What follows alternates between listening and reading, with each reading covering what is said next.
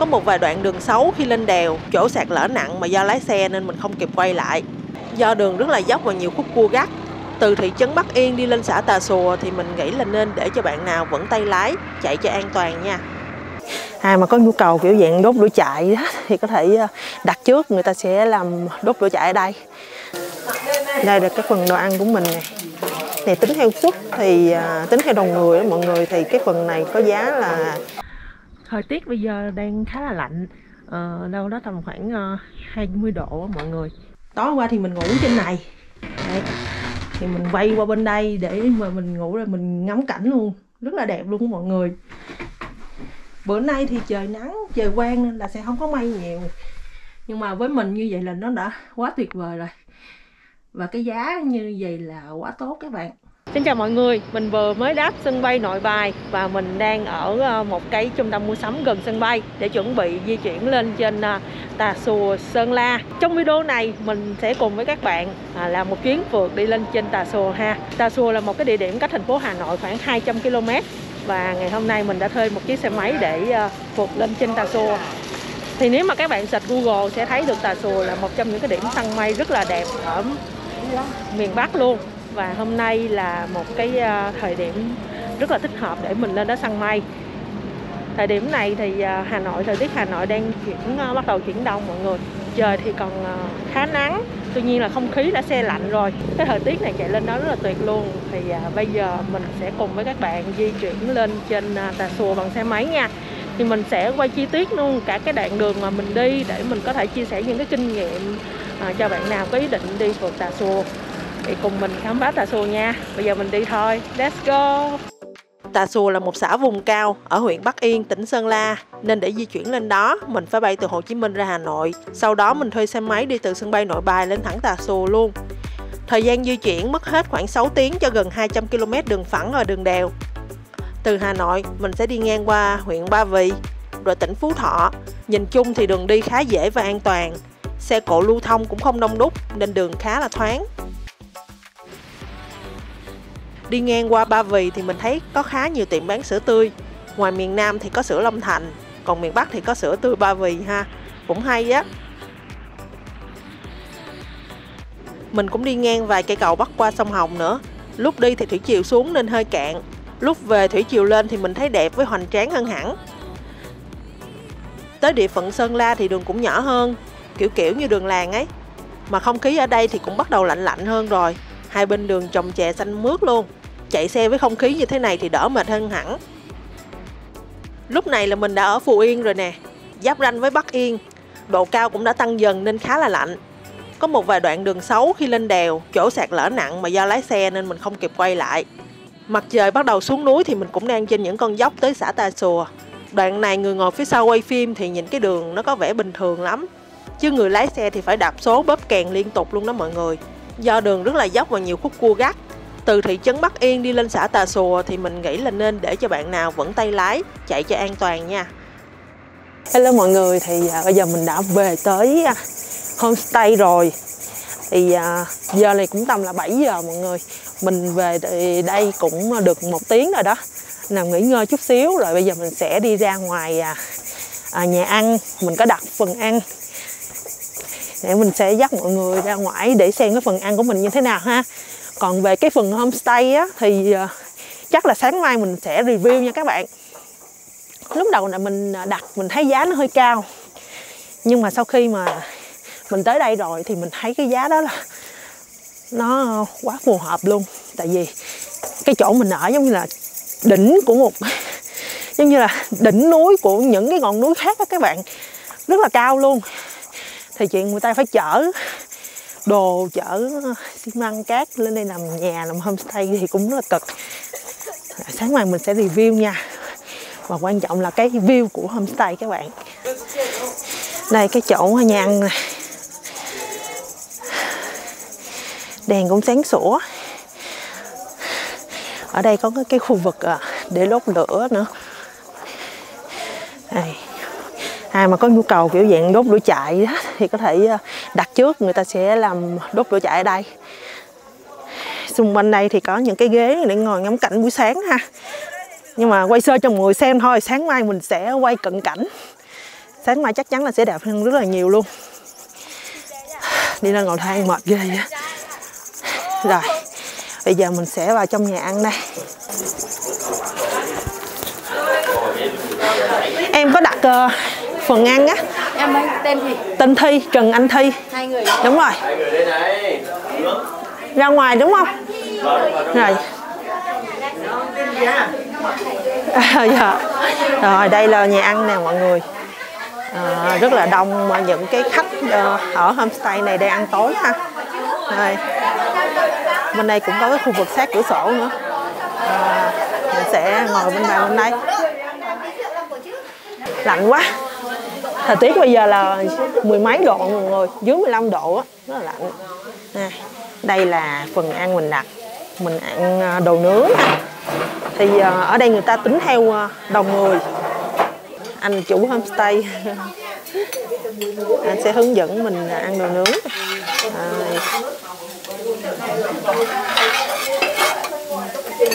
giờ mình sẽ cho dầu lên trước nè cái chảo này lần đầu tiên mình thấy luôn á khá là lạ đây là cái phần đồ ăn của mình nè. Này tính theo suất thì à, tính theo đồng người đó mọi người thì cái phần này có giá là à, 280 ngàn một người. Nếu mà ăn hết thì mình gọi thêm không tính phí nha. Này là mình ăn hết thì mình có thể gọi thêm cũng được đúng không anh? Có tính thêm tiền không? Là rồi. Rồi ngoài ra thì có thêm phần rau kèm đây. À, nếu mà ăn hết mà muốn ăn thêm thì cứ gọi người ta đem ra ha à, ngoài ra thì mình thấy là còn cho hũ bơ nè rồi à, đồ chấm à, muối tiêu. À, có mắc khén nữa đúng không? Dạ dạ. Rồi giờ mình sẽ mở cái phần này ra đây.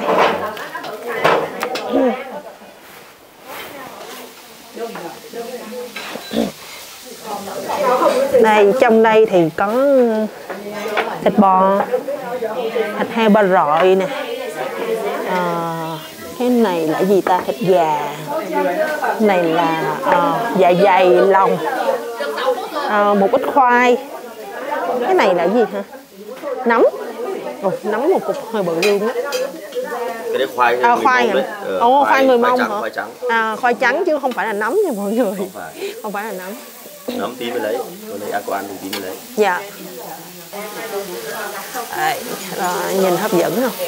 Trời lạnh mà ăn đồ nướng là hết bài luôn mọi người à, Đây hai mắt kháng, Muối mắt kháng nè Đây Hấp dẫn không? nặng chanh vô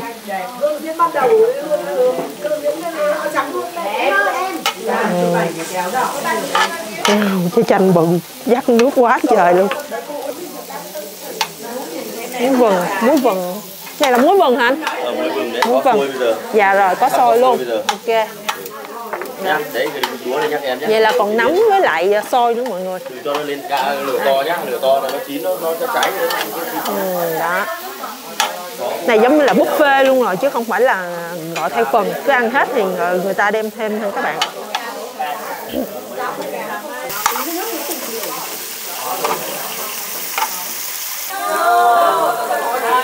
À,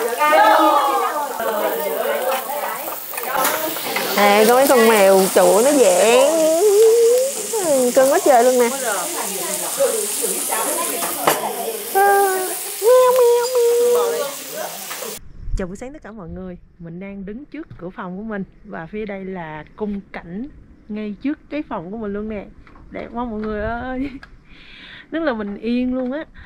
Thời tiết bây giờ đang khá là lạnh. Ờ, đâu đó tầm khoảng ờ, uh, 20 độ á mọi người. Lạnh và mình phải mặc nói chung là áo dẫn nhiệt ở bên trong rồi ờ, áo khoác bên ngoài nữa để mà giữ ấm cơ thể ha. Bữa nay là đầu tháng 11 rồi và à, theo đúng thì từ cái tháng 11 cho tới tháng 3 năm sau là cái mùa đẹp nhất ở Tà Xùa. Thì mình cũng tranh thủ để mà đi Tà Xùa vào năm nay. Wow không khí rất là bình yên mình để mình không có sử dụng mic mà mình để à, thu tiếng ở ngoài luôn các bạn để mọi người có thể nghe được là tiếng của núi rừng tiếng chim hót tiếng gió để mọi người có thể à, cảm nhận được cái không khí ở nơi đây ha. Wow thích quá. Đây, đây phía sau mình. Đó là cái phòng mình đang ở nè mọi người. À, bạn mình chưa dậy nữa. Ngủ ở đây rất là thích luôn. Mình kéo rèm ra mình ngủ mình nhìn cảnh ở phía bên dưới, rất là tuyệt vời luôn. Thì à, như hôm qua mình cũng có giới thiệu giá phòng ở đây, mình đặt là một triệu. Thực ra là cái phòng này là bungalow, là dành cho bốn người lần mọi người, mà do là hết phòng rồi nên là anh chủ, anh cũng à, flexible cũng linh động là ảnh cho mình ở đây luôn và chỉ có giá là một triệu thôi. Cuối tuần thì cao hơn ha.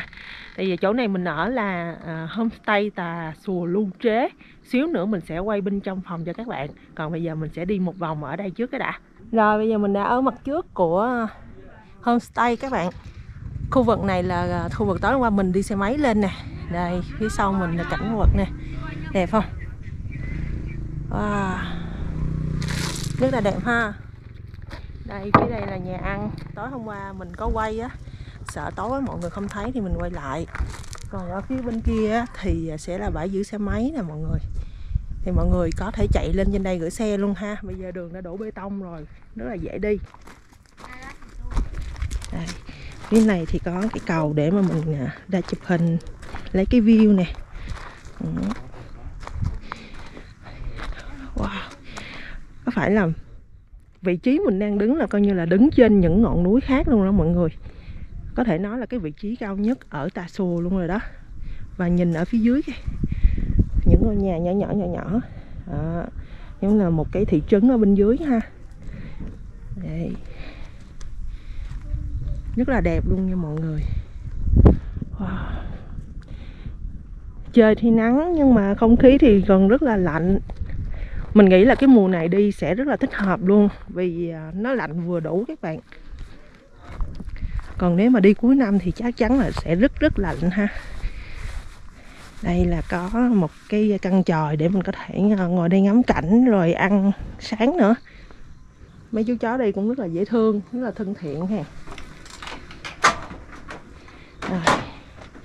Wow, mấy con luôn nó núp dưới này nè. Tối qua nó nhào lửa xin ăn như đúng rồi luôn mọi người. Wow đẹp quá. Rất là bình yên luôn. Rồi giờ mình ngồi ở đây một chút để chia sẻ về cái à, đoạn đường hôm qua mình đi đi. Mình nghĩ là có một số thứ các bạn cần nắm á. Sau khi hôm qua mình lên trên đây rồi thì mình rút ra được hai thứ mọi người. Thứ nhất là về cái việc lựa chọn xe để di chuyển lên trên tà xùa á, thì mình nghĩ là mọi người nên chọn xe số nha rất là cần đi xe số luôn. Tại vì à, cái dốc rất là cao, lên trên tới đỉnh chỗ homestay này nè. Những cái con dốc rất là cao luôn mà nếu mà đi xe tay ga là không thể nào leo lên được. Lúc đầu mình à, quyết định đi xe thì mình cũng rất là đắn đo tại vì mình thích đi xe tay ga hơn. Nhưng sau đó mình cũng hỏi tư vấn à, homestay nè, rồi tư vấn cái chỗ thuê xe thì họ nói là nên đi xe số và mình cảm thấy đó là quyết định rất là đúng đắn. Cái thứ hai nữa là à, về việc vấn đề đổ xăng á mình nghĩ là các bạn nên giữ bình xăng của mình ở tầm à, nửa bình ha. Tại vì à, những cái đoạn đường dốc á khi mà mình đi lên giữa chân á thì nó lại hết xăng rất là nhanh. Và khá là nguy hiểm nếu mà hết xăng giữa đường thì không có chỗ đổ thì phải đẩy nữa. Rồi à, nếu mà hên thì vô chúng khu dân cư á, thì có người phụ còn xui mà không vô chúng khu dân cư á, thì không biết nhờ ai cứu lúc thì không biết nhờ ai cứu luôn. Nên là hãy giữ cái bình xăng của mình ở mức nửa bình ha. Đó là hai cái mà mình à, cảm thấy rất là cần thiết để chia sẻ lại cho mọi người. À, bây giờ mình sẽ di chuyển vào phòng để mình sẽ giới thiệu tiếp cái phòng của mình cho các bạn nha. Rồi bây giờ mời mọi người vô xem phòng của mình nha. Đây một căn phòng tràn ngập ánh sáng và một cái view rất là đẹp luôn mọi người căn này là căn bungalow ha dành cho uh, ít nhất là bốn người. Như nãy mình nói là ờ, do là chủ phòng đã hết phòng hai người rồi thì họ để cho mình cái phòng này luôn với giá có một triệu thôi cho hai người ha. Ai ở vô ở thêm thì tính thêm tiền. Đó dưới này thì sẽ sẵn hai cái nệm nè. Cái chăn này nhìn vậy thôi nhưng mà nó rất là dày nha mọi người. À, nằm rất là ấm. Cái nệm này cũng khá là ổn luôn á không có bị lúng nè. Rất là ok ha rồi. Ổ cắm thì mình thấy rất là nhiều phòng được trang bị rất là nhiều ổ cắm nên là mọi người yên tâm có chỗ cho sạc ha. Rồi bên đây thì có móc treo áo khoác nè rồi à, máy sấy cũng có luôn. À, khăn thì bao nhiêu người thì có bấy nhiêu khăn. Ở đây có cái quạt mà cái quạt này chắc không xài tới nữa lạnh lắm luôn. Rồi phía trong đây là toilet nè. À, toilet cũng rộng. À, mình thấy là vệ sinh tương đối sạch sẽ nha mọi người. À, có máy nước nóng ha. Nhưng mà phải à, mở ra một chút xíu thì à, nước nó mới nóng nha mọi người. Và ờ, ở trong đây thì à, có một cái gương to bên đây. Rồi có dép đi trong toilet luôn. À, đặc biệt là ở đây người ta lót mút nè nên đi nó sẽ đỡ lạnh hơn rất là nhiều. Bây giờ mình đi lên trên lầu này nha. Cái view này mới là đáng giá nè mọi người. Yeah đó xuất sắc không? À. tối qua thì mình ngủ trên này. Đấy. thì mình quay qua bên đây để mà mình ngủ rồi mình ngắm cảnh luôn. Rất là đẹp luôn mọi người. Bữa nay thì trời nắng trời quang nên là sẽ không có mây nhiều. Nhưng mà với mình như vậy là nó đã quá tuyệt vời rồi. Và cái giá như vậy là quá tốt các bạn. À, với cái uh, đường núi như thế này mà người ta thồ đồ vật liệu xây dựng lên đây để mà xây những cái căn homestay như vậy thì giá nó khá là ổn áp ha. Ok. Đây, trên đây cũng có thêm cái cửa sổ này có thể mở ra nếu mà mọi người thấy nóng nhưng mà mình nghĩ là không cần đâu lạnh lắm. Rồi trên đây thì cũng có cái móc để treo áo luôn nè. Đó. ở đây nó làm dạng theo cái ờ, sát mái vậy đó. Nó cũng ờ, khá là đẹp tường thì à, này là dán giả gỗ thôi nha mọi người, chứ không phải là gỗ thiệt đâu rồi trong video này mình đã hướng dẫn chi tiết cách đi lên Tà Xùa và review cái homestay mình đang ở rồi thì giờ mình sẽ ngưng video tại đây nha các bạn bây giờ mình sẽ bắt đầu di chuyển qua bên sóng lưng khủng long và sẽ quay tiếp cho mọi người xem Cảm ơn các bạn đã theo dõi đến hết video. Nhớ cho mình một like và bấm đăng ký kênh để theo dõi những video du lịch tiếp theo của mình nha.